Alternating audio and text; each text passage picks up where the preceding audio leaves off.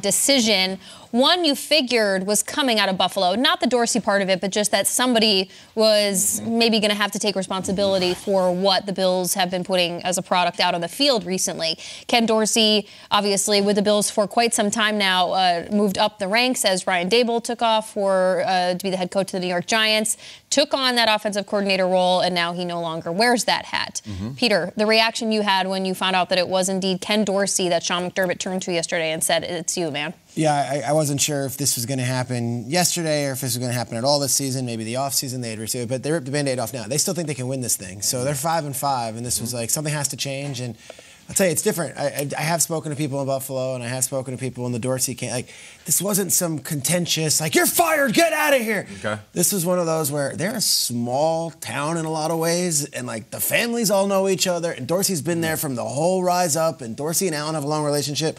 And it was kind of like, hey, this is what's going to happen. And Dorsey understood that something had to happen, and now he moves on. And it's like, Joe Brady, get into that catbird seat. Like it's your shot now. Now Joe Brady, of, Joe Brady, of course, had this meteoric rise to stardom at LSU in the one year with Burrow and Chase and Jefferson, and then was like the youngest offensive coordinator ever, and was blown out of Carolina because that didn't work. He's been with Buffalo the last couple seasons. He's been there with the offense. It's, hey, this guy's gone, you're up, and they are looking for the Bills to still, and they as being Buffalo fans, Buffalo, to still be relevant. Like, this isn't a white flag by any means. If anything, firing Dorsey now is their sign to the fans that we still believe that we think we have to rip the band-aid off now and still get this thing done before it's too late. They have this stretch coming up. We highlighted it yesterday, Jason. Yeah. It's Eagles, mm-hmm. okay? Bye. Mm-hmm. And then it's Chiefs and Cowboys. You lose those three, you're done. Like, see you later. We'll see you, and we might have an entirely different crew we're talking they about. They also got the Jets first in their defense, who they've already lost to. Yep. Precisely. They play the Jets this weekend, who they lost to without Rodgers, yeah. who went down, yeah, yeah. On, and it was like, Zach Wilson, go. Um, I don't think Ken Dorsey is fully to blame for this season. I don't think Ken Dorsey fumbled the ball. Uh-huh. I don't think Ken Dorsey uh-huh. was the one who couldn't get the special teams right. I do think someone had to take the fall, and it's Dorsey. So now, hey, Leslie Frazier, you're gone. Dorsey, you're, you're gone. gone. At some point, it's yeah. what are we doing here? But you know what? They're trying to salvage the season, and they think that that's going to be the change. We'll see. Yeah, he was a scapegoat. It's crazy because when you say like something had to happen if they don't have 12 guys on the field, if they don't go blitz zero at the end of that game and allow the Broncos to come down, kick the field goal, and win the game, does something still have to happen? Did Ken question. Dorsey have to be fired? So that's kind of my question mark because some of the issues that took place was Sean McDermott calling the blitz zero and then ultimately head coach, special team coach that has nothing to do with Ken Dorsey. And when you look at him being fired, you look at his offense, yes, it hasn't been as prolific as it has been the last few seasons, but at the same time, it's hard for an offense to put points up on the board when you continue to turn the ball over. You just mentioned that they have to play the Jets next, and that was a game that they already lost without Aaron Rodgers on the field. And the large reason they had to was because the amount of interceptions that Josh Allen threw in that game. So when you say, where's the blame, and Ken Dorsey had to go in his offense, is this, that, and the third, at the same time, if the Buffalo Bills stop turning the ball over, they're able to win more games. There's nothing that beats you faster than giving the team, giving the other team the ball. And they did that on the first play of the game, the last one, when James Cook fumbled the ball. So you look at this and you look at Ken Dorsey, and you just mentioned Leslie Frazier as well. From the end of that 2022 season, Frazier's gone, and now before the next season's even over, the offensive coordinator is gone. To me, you say, all right, they feel like they can still salvage the season. This is full on panic mode to me. This is the bank teller in, in the bank, and some people walk in, and all of a sudden you're nervous and you think something's about to go down, sure. and you just reach underneath and you hit that quick panic button of just in case. to me, that is the Buffalo Ops. Bills season right now. We're trying to, we're looking around and just like, who's going to find a way to get this thing back going? Joe Brady, is, is that the guy that's now going to rise up and they're going to put up 40 points a game? Are we super confident in that? What, why are you so worried those people are going to rob the bank? They're just they're depositing their paycheck. What you was never, it about them? Oh my God, I'm triggered you, by you this. Never know. Yeah, I guess. I don't hit the panic button.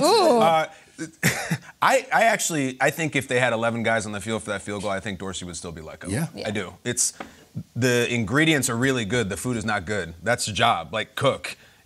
There is no reason, interceptions, fumbles, otherwise, that a team with Josh Allen and Stefon Diggs and James Cook and a first round rookie tight end that they probably didn't need to draft and gave to Dorsey anyway, has gone six straight games without scoring 30 points. This is not just the Broncos thing. Yes, they had eight points at halftime against a team that gave up 70 points. Six straight games without 30.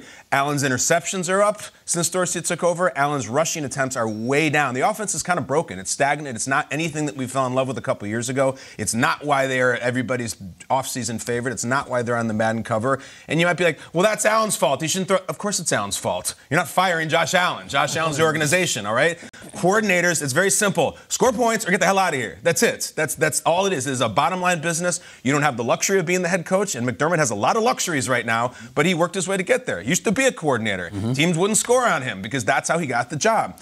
The, the Ken Dorsey offenses are not scoring. Guys, they're five and five. This is not, eh, we're lazy five and three, we'll figure it out. It's not his first year here. It is not working. Josh Allen doesn't look like the same player. I think this is uh, the right move because, by the way, you're panicking. You're about to go five and six this weekend and then five and seven, and then you're the laughing stock, and let's talk about the draft. You had to do something. Yeah. You had to. You're not benching Stefon Diggs. You're not benching Josh Allen. The only move at this point was to make a change on offense, and I bet they're rejuvenated as hell, and I bet Josh Allen runs his ass off next week. I really do think it's the right move. I love Dorsey, of course. I grew up Dorsey. Mm. I don't celebrate it. I think they had to do it. You fully buy into the Josh Allen bounce back experience too. Like you think when he is down and out, like he comes back with a vengeance. So normally we'll everyone's see. like he sucks, too many yep. receptions, then he'll have five touchdowns and 400 yards. Right. But we've been waiting for that for a month now. It hasn't yeah. happened. It's curious. You say the last six, the Bills haven't amassed 30 points. Six in a row. The Ravens started the season that way. They were having a hard mm-hmm. time having Lamar Jackson get over 250 yards. They were having a hard time scoring 30 points.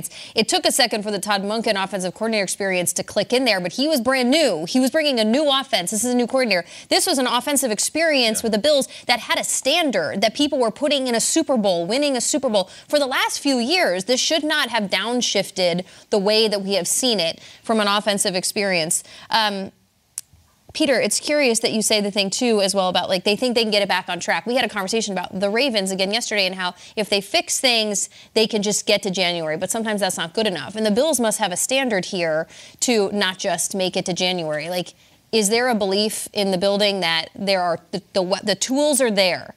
It's just that the way the tools are being utilized, that was like the general issue. Because to your point, it kind of goes, looks at Sean McDermott as well. Sure, I think there is. I think they still believe that. Wait, in, in August when we were at saint mm-hmm. Fisher's, like we we believe, like we could, like that's we're all still here. Uh, curious thing with Joe Brady. There's a cool story there too. I mean, he was the hottest name. People he interviewed for head coaching jobs when mm-hmm. he was mm-hmm. 30. The hottest name in football and was fired quietly. And then I was a quarterbacks coach and has been mm-hmm. unheard of mm-hmm. for the last two years. And now it's like, hey, you've got Josh Allen, one of the premier talents in the league, and everyone's looking at you to fix this thing. Mm. Is he up for that challenge? Yeah. yeah. We'll Can I personalize this for you? You have a relationship with Ken Dorsey. Yeah, he was on your podcast. You yeah. spent a lot of time talking to him. Are you pissed right now? Is he a fall guy? Was McDermott no, just no? No, I think this is the business they sign up for. Uh-huh. And this was, the, to your point, six straight games, not scoring 20. And you know when you're court. He interviewed for a head coaching job last year. Did he? Ken Dorsey gets fired. He interviewed for the Carolina job. I mean, it's mm-hmm. not like this guy's a clown around the league. Like he's no, still very sure. respected. Um, yesterday, I saw a lot of you know, Twitter is an ugly place usually, but a lot of people being like excited, like showing him throwing the yeah, iPad yeah, and the whole thing. Like, they did a lot of great things under Ken Dorsey. Mm-hmm. He was the mm-hmm. quarterbacks coach when Daboll yeah. was the OC. Right. So like, yeah yeah, I mean, this this this sucks. So sucks. Josh he's Allen, got, he's got a family, he's got a wife. Of course. A, I mean, it all sucks. But, but you don't think game. this is an injustice, like you're nah. fighting back? Yeah. I think I think it's understood. If you're a Bills fan, something has this to. This is not about the Broncos game, you guys. This started. They scored 14 against the Giants. Yeah. Like the, the Giants defense, we just saw it last weekend. It, this I think this has been going on for six weeks, maybe kind of all season. So to Kyle's point, the Josh Allen thing is real. You're not going to fire your franchise quarterback, nope. uh, but he has not played up to the standard that everyone expected Josh Allen so far this season. It's been a roller coaster. Um, the fact that he leads the NFL in touchdowns, but he also leads the NFL in giveaways, a list in which he exists with Desmond Ridder and Mac Jones on. That's not where you want Josh Allen to live.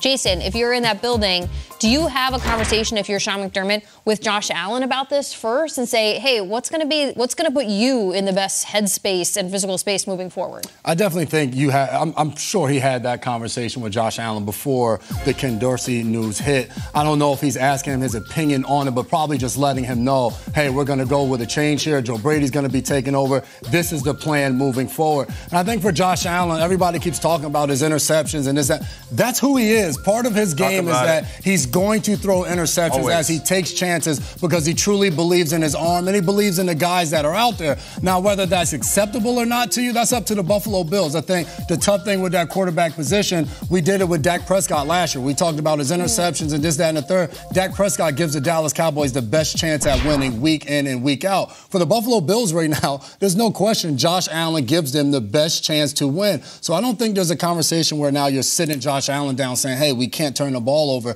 You're trying to figure out ways that with the turnovers to still put up enough points to win football games because I don't see now Joe Brady coming over and all of a sudden his interceptions just go way down. That's always going to be a part of his game. This is also considering the AFC East as an entirety this season has just been ripe for the taking, and the Bills could have run away with it had they had their heads on straight to start the season, but it's still up for grabs across the board.